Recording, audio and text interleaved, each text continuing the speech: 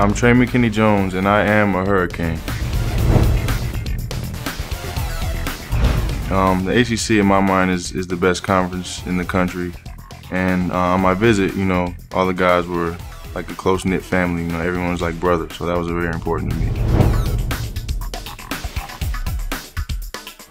Highlight of my career would have to be probably winning at Duke. That's big. Not not many people, you know, get a chance to to win a game in in their uh, arena. So that was a big game for us.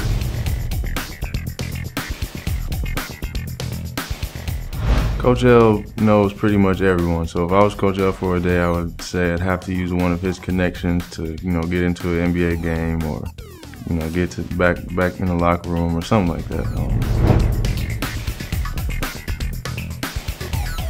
Um, um I have to say Obama right now.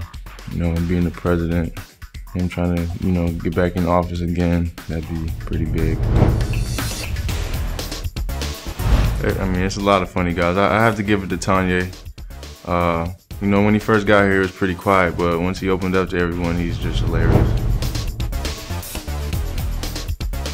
Singer, not many people sing. Um, Julian's my roommate, so I hear him sing every once in a while. He's not too bad.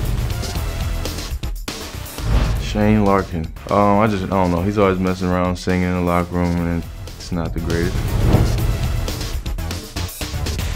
Ralph, easy, Ralph. He's following all practice.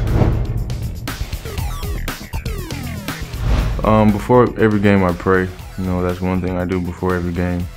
Um, just, you know, try my best to get, you know, mentally in tune for the game. Listen to music.